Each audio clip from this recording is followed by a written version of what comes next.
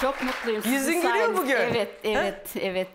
Evet. Dün oğlunla güzel geçmiş her şey. Evet, hepsi güzel geçti. O da memnun kaldı, ben de memnun kaldım. Çok sizin sayenizde, sizin ekibinizde iyi ki varsınız. Güzel çörekler falan yapmışsın. Siz Evet. biliyor musunuz öyle çörekleri? Durun bir izleyelim. Dün iftar açmışlar. Oğlu için çörek, Bulgar, Bulgaristan çöreği yapmış. Oo, Ondan özlemiştir sağlık. diye. Ellerine Evet. sağlık. Ne güzel böyle kabarık kabarık olmuş. E, acele oldu. Daha iyi de olabilirdi de ama işte Heyecan yaptınız. heyecanlı zaman yoktu şef gibi. Evet, evet. Yok yok ben beğendim yani. Daha da Ee, güzel. Onun O ekmek, daha iyileri de var. o Ben, ekmek mi yani? ekmek gibi bir şey ama biz işte ona e, öyle özel bir çörek diyoruz. Ha, özel günlerde yapıyormuş. Evet. Oğlunu tabii 22 yıl sonra bulunca anne yüreği girdi hemen mutfağa. Çöreğini de yaptı. Hadi izleyelim o görüntüleri.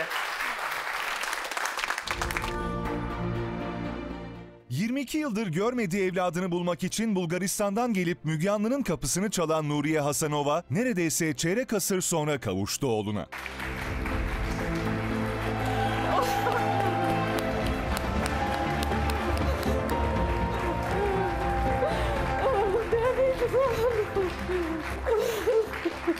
Öldü sandığı oğluna sarıldı, kokusunu içine çekti, gözyaşları sel olup aktı. Senelerin hasreti bir sarılmayla son bulurken anne Nuriye Hasanova sözleriyle yürekleri burktu. Zayıfsın oğlum zayıfsın. Sen yemeyesin mi oğlum bir şey? Yok. Konuşunuz ya şey çözeceğiz oğlum. Bir çöreğimiz var Bulgaristan'da. Onu çok severdi. E, Onu yaparız. Ya. İnşallah. Mucize kavuşmanın ardından anne oğul ilk defa iftar sofrasında aynı masadaydı. Çok mutluyum oğlumu buldum diye. Kuş gibi oldum Müge Hanım'ın sayesinde oğluma kavuştum.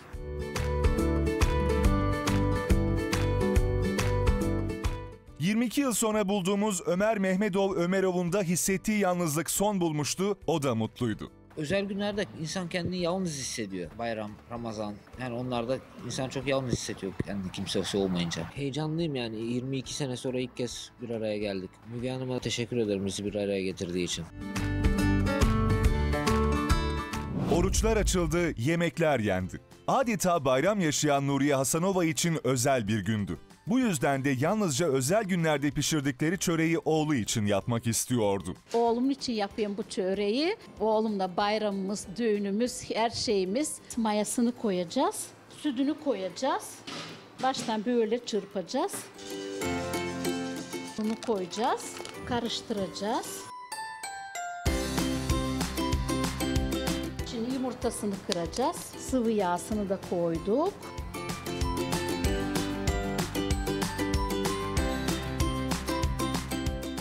Böyle rolo gibi yapacağız onu. Şimdi Bulgaristan çöreğimizi fırına vereceğiz. İnşallah pişmesini de beceririz. Şu an çöreğimiz pişti. Artık fırından alabiliriz.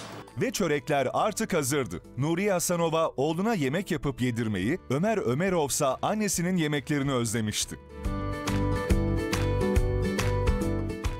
Çok heyecanlıyım, çok mutluyum. Biraz da öyle Duygulandınız mı? duygulandım. Evet, çok duygulandım. Özlemiştir, öyle tahmin ediyorum. Özledim. Çok zaman oldu.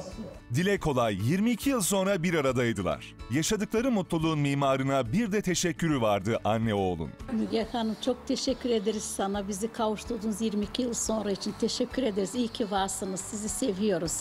Ben de teşekkür ederim Müge Hanım'a. O pek konuşmaz.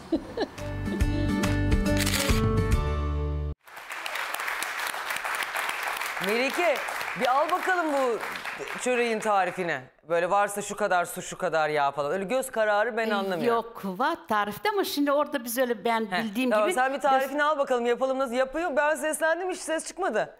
Gülbey abla yapıyor musunuz? Mikrofonu götür. Yapıyorsunuz. Yeni yılda yaparız. İçine de bir para koruz. Kime çıkacak diye artık.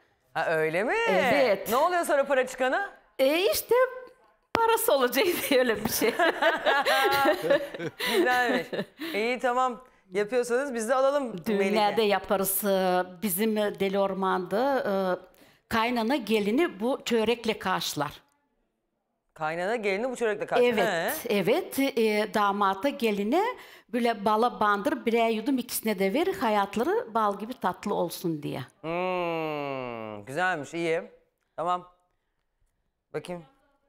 Dur şimdi. Reklamda alacağım tarifini diyor şimdi. Annem mesaj atmıştır. Anne. Bayağı da özel bir çörekmiş. Evet, evet. Ya Deli Ormanları ben görmüştüm. İğneada'nın arka tarafı.